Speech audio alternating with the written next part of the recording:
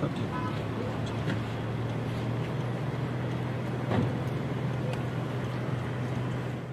အာနာသိန်းစစ်တပ်ဟာယာနဲ့ချီတဲ့လမ်းသွားလမ်းလာလူငယ်တွေကိုဖမ်းဆီးပြီးသူတို့အသက်သွင်းထားတဲ့စစ်မှုထမ်းဥပဒေနဲ့အတင်းအကျပ်စစ်ထဲကိုသွင်းနေကြောင်းစစ်ကောင်စီကိုးကွယ်တဲ့ပြည်သူ့စစ်ကောင်းဆောင်ပေါဖုံးကြီးကဝန်ခံလိုက်ပါတယ်။ပောက်ကိုရောရဲ့ပြောကြားချက်ဟာအတင်းအဓမ္မစစ်မှုထမ်းခိုင်းနေတယ်လို့ဆွဆွဲချက်တွေအပေါ်မှာစစ်ကောင်စီပြည်သူ့စစ်ကောင်းဆောင်တဦးရဲ့ရှက်ချပပဝန်ခံမှုလည်းဖြစ်လာပါတယ်။ ပြီးခဲ့တဲ့ဩဂုတ်လ16ရက်နေ့ကမန္တလေးတိုင်းတတအူးမြို့နယ်မှာအရသာအယောက်100နီးပါးကိုစစ်တပ်ကပေါ်တာဆွဲခဲ့ပြီးအဲ့ဒီအထက်ကသူ့ရဲ့မိတ်ဆွေတွေအပါအဝင်45ယောက်ကိုစစ်တပ်နန်းကိုအတင်းအကျပ်ပို့ခဲ့ကြောင်းပောက်ကူတော်ကပြောပါရယ်ဟုတ်လားဟုတ်လားဒီကနေ့ဦးစင်းကစစ်မှုထမ်းအောင်နဲ့ပတ်သက်ပြီးမှ16ရက်နေ့ကတရားဥမှာတရားလောက်ဖမ်းလိုက်တယ်နော်တရားလောက်ဖမ်းလိုက်တယ်ပေါ့ဗျာစစ်မှုထမ်းအောင်နဲ့ပတ်သက်ပြီး အဲ့ဒီမှာတရားဥမြို့နယ်မှာတဲ့16ရက်နေ့ကထောက်ချာကုန်းရွာကနော်ညီကိုနှစ်ယောက်နှစ်ယောက်လောက်ခုဒီနေ့ဦးစင်းသွားပြောတော့မရတော့ဘူးဒါမှနဲ့စစ်မှုထမ်းတော့45ယောက်ရွေးသွားတယ်တရားလောက်ဖမ်းတဲ့ထဲမှာအဲ့လို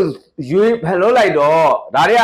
အဲ့နေရဥစဉ်ဘုံမူးနဲ့တွေ့တယ်ဒီနေ့ဘုံမူးနဲ့သွားတွေ့ဘုံမူးလို့ခင်ဗျားတို့ရားလို့ဖုံဖုံနဲ့ဒါတွေကတပြို့လို့နဲ့မဆိုင်ဘူးဖေရတဲ့တမျိုးနဲ့ကိုဘယ်နေရောက်ဘယ်နေရောက်ဆိုတာရှိပြီးသားတဲ့ အဲ့ဒါထွေအုပ်တွေလောက်ထားဖေရထွေအုပ်တွေလောက်တာတဲ့အဲ့တော့ထွေအုပ်တွေကဖေရတီနေပြန်ဖြစ်နေမလားလို့ဥစဉ်တော့တုံးတတ်ချင်တယ်ဗျတုံးတတ်ချင်တယ်ဥပဒေတိုင်းရောဟုတ်ရဲ့လားလို့တုံးတတ်ချင်တယ်ဒါဒီကနေ့တရားဥနဲ့မှာဖြစ်သွားတဲ့အရာကိုပြောပြရနော်တရားဥနဲ့မှာအသက်39နှစ်အရွယ်ပောက်ကူတော်ဟာအဲ့ဒီအကြောင်းအရာတွေကိုပြီးခဲ့တဲ့ဩဂုတ်လ19ရက်နေ့ကစစ်တပ်ကြောထောက်နောက်ခံပေးထားတဲ့မြန်မာ National Post သတင်းဌာနကိုပြောခဲ့တာဖြစ်ပြီးမြန်မာ National Post ဟာ ပောက်ကူတော်ရဲ့ပြောကြားချက်ကိုသူတို့ရဲ့ Telegram စာမျက်နှာကနေပြန်လည်ဖြုတ်ချခဲ့ပါတယ်။အဲ့တော့အဲ့လိုလူတွေအများကြီးခေါ်တယ်။အဲ့ဒီကောင်ကစစ်မှုထမ်းနဲ့စိတ်ရှိပါမလား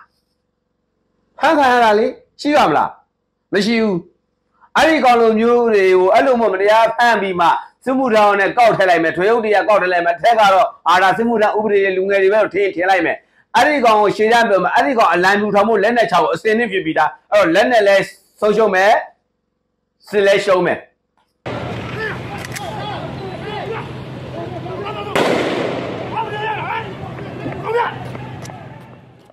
အာရသိန်းစစ်တပ်ရဲ့လမ်းမဘော်ကပေါ်တာဆွဲတဲ့အကြောင်းတွေကိုသတင်းဌာနတွေကထုတ်ဖော်ရေးသားခဲ့ပေမဲ့လောက်ကျန်ဖန်တီးတဲ့သတင်းတွေသာဖြစ်ကြောင်းစစ်တပ်ကမကြာခဏတုံ့ပြန်လေးရှိပါတယ်။ပြီးခဲ့တဲ့ရက်ပိုင်းကမှအသက်39နှစ်ပြည့်ခဲ့တဲ့ပောက်ကူရောခေါ်အရိယာဝင်သားဟာစစ်တပ်ရဲ့ကြောထောက်နောက်ခံပေးမှုနဲ့ပေါ်ပေါက်လာတဲ့မဘာသာရဲ့ဒုတိယမျိုးဆက်ခေါင်းဆောင်တအုပ်ဖြစ်ပြီး 2021ဖေဖော်ဝါရီလမှာစစ်တပ်ကအာဏာသိမ်းပြီးတဲ့နောက်ဦးဝီရသူလိုမဘာသာခေါင်းဆောင်တွေထောင်ထဲရောက်နေချိန်မှာပောက်ကူရောအာဏာသိမ်းစစ်တပ်ကိုထောက်ခံရေးလှုပ်ရှားမှုတွေမှာရှေ့တန်းရောက်လာပါတယ်။ပြီးခဲ့တဲ့ဇန်နဝါရီလ16ရက်နေ့ကမန္တလေးတိုင်းပြင်ဦးလင်မြို့မှာလုပ်ခဲ့တဲ့စစ်တပ်ထောက်ခံပွဲမှာတပ်မတော်ကာကွယ်ရေးဦးစီးချုပ်ယာဒုကနေဗိုလ်ချုပ်မှုကြီးမင်းအောင်လှိုင်နှုတ်ထွက်ဖို့နဲ့ဒုတိယဗိုလ်ချုပ်မှုကြီးစိုးဝင်းထံအပ်ဖို့တောင်းဆိုခဲ့သူလည်းဖြစ်ပြီးအဲ့ဒီနောက်ပိုင်းမှာတော့စစ်တပ်ကသူ့ကိုနိုင်ပိုင်းကြာဖမ်းဆီးစစ်ဆေးခဲ့ပြီးတဲ့နောက်ပြန်လွှတ်ပေးခဲ့ပါတယ်။ တပ်မတော်ကာကွယ်ရေးဦးစီးချုပ်ကိုအရက်ဖက်ဝင်ကြီးဌာနယာဒုတနေရာတဲ့ပေးလိုက်ရင်မကောင်းဘူးလား။တပ်မတော်ကာကွယ်ရေးဦးစီးချုပ်ယာဒုကိုဒုချုပ်ကြီးကိုပေးလိုက်။အရက်ဖက်နဲ့အမတန်မှတိုက်ညီတဲ့ဝင်းကြီးချုပ်ယာရူးကိုဘယ်သူ့ကိုမေးလိုက်ရမှာလဲဖယားတကာကြီးကာကွယ်ရေးဝင်းကြီးချုပ်ဘိုးချုပ်ဦးကြီးမင်းအောင်နိုင်ကိုပေးလာ ပေါကူရဟာနိုင်ငံအလဲပိုင်းကပြူစောတိပြည်သူစစ်တွေကိုကြီးကြပ်ဖို့စစ်တပ်ကတာဝန်ပေးထားတဲ့သင်္ကန်းဝတ်နဲ့ပြူစောတိတွေထဲမှာတူပါဝင်ပါတယ်။နောက်ထပ်သင်္ကန်းဝတ်တူကတော့ကပ်ဘလူမျိုးနယ်ကပြူစောတိကောင်းဆောင်ဦးဝါတဝါဖြစ်ပါတယ်။ပြီးခဲ့တဲ့ဂျပန်ကမန္တလေးတိုင်းကပြူစောတိပြည်သူ့စစ်ကွန်မန်ဒိုစစ်တပ်နဲ့စင်ပွဲတစ်ခုမှာစစ်တပ်ကိုစန့်ကျင်သူတွေကိုရက်ဆက်စွာနှိမ်နင်းဖို့ပောက်ကူတော်ကမိန်ကုန်းပြောခဲ့ပါတယ်။မန္တလေးတိုင်းကစစ်ဗိုလ်ချုပ်တွေဟာလည်းပောက်ကူတော်ကိုကိုးကွယ်ကြပါတယ်။ အခုငါတို့တိုက်နေရတာဒီမင်းတို့တွေချနေရတဲ့အရာတွေက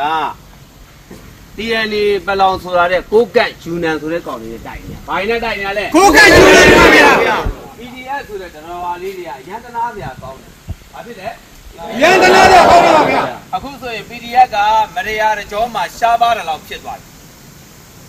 အဲ့ဒီစကားကိုကြားလိုက်ရဟာအရှင်ဘုရားမရယာဘက်မှာ PDF တွေအများကြီးအများကြီးသွားဟာဆိုင်သွားတယ်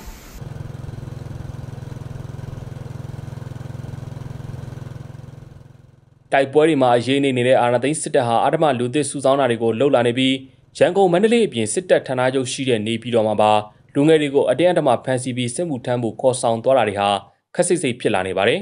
။ဩဂုတ်လဆန်းပိုင်းကနေပြည်တော်ဝင်တိုးကိန်နာကစားတောက်ဆိုင်တစ်ခုမှာလူငယ်9ဦးကိုရဲတပ်ဖွဲ့ကဝင်ရောက်ဖမ်းဆီးခဲ့ပြီးစစ်မှုထမ်းမှုခေါ်သွားတယ်လို့အဲ့ဒီနားမှာနေတဲ့ဒေသခံတို့ကအတည်ပြုပါတယ်။ဖမ်းဆီးခံရတဲ့လူငယ်တွေဟာအသက်18နှစ်နဲ့30နှစ်ကြားလူငယ်တွေဖြစ်ပြီးတော့ စကိုင်းတိုင်းနဲ့မကွေးတိုင်းတွေကလာရောက်အလုပ်လုပ်ကိုင်သူတွေလည်းဖြစ်ပါတယ်။နေပြည်တော်ကစားတောက်ဆိုင်တချို့ကိုလည်းစစ်မှုထမ်းအတွက်လူဝင်အားတောင်းထားတာတွေရှိနေပြီးဆိုင်ပါရှင်တွေနဲ့ဝန်ထမ်းတွေကိုဖိအားပေးတာတွေလည်းရှိနေပါတယ်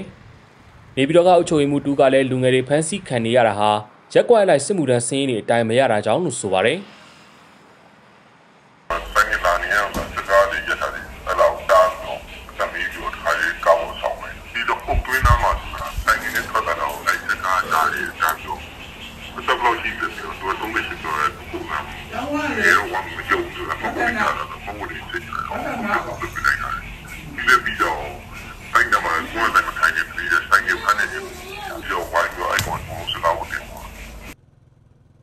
စစ်မှုထမ်းအပတ်စဉ်တွေခက်စစ်စစ်ဖြစ်လာပြီးထွက်ပြေးသူလူငယ်တွေများပြားလာတဲ့နောက်မန္တလေးမှာစစ်မှုထမ်းခေါ်တာကိုညအချိန်မတော်မှာအဲစင်းစစ်စီကဖမ်းဆီးတာရက်ကွက်တွေပိတ်ဆို့ပြီးတော့ပေါ်တာဆွဲတာလမ်းသွားလက်လာတွေကိုစုလိုက်အပြုံလိုက်ဖမ်းဆီးခေါ်ဆောင်တာတွေလုပ်နေတယ်လို့ဒေသခံတွေကပြောကြပါဗျ။မန္တလေးမှာအခုလအတွင်းအကြမ်းဖက်နှီးမျိုးစုံနဲ့စစ်မှုထမ်းဖို့အတွက်တပ်ထဲကိုသွင်းခံရသူအယောက်200နီးပါးရှိနေကြောင်းနဲ့သူတို့ကိုမန္တလေးတောင်ကြီးတပ်စခန်းတစ်ခုမှာရက်တိုတင်တန်းပေးပြီးတဲ့နောက်စစ်ဖြစ်ရာနေရာတွေကိုပို့နေကြောင်းမန္တလေးတော်လိုင်းအင်အားစုတွေကမြန်မာနောင်ကိုပြောပါဗျ။ မောက်တော့မောက်တော့ဟောကောဩဂုတ်လ21ရက်နေ့နေ့လယ်ပိုင်းကလည်းမန္တလေးအောင်မြေတာဆန်မြို့နယ်ဤကင်းမလဲတာရက်ကွက်နဲ့ချမ်းရီတာဆန်မြို့နယ်မြောက်ဝင်းရက်ကွက်တွေကိုအဝင်အထွက်လမ်းတွေပိတ်ဆို့ကတိန်တဆင်းအဲစင်းစစ်စင်းနဲ့လူငယ်တချို့ကိုစစ်မှုထမ်းဖို့ဖမ်းဆီးခေါ်ဆောင်သွားတယ်လို့လည်းမန္တလေးအင်အားစုတွေကအတည်ပြုထားပါတယ်ခင်ဗျာဟုတ်လားဟုတ်လား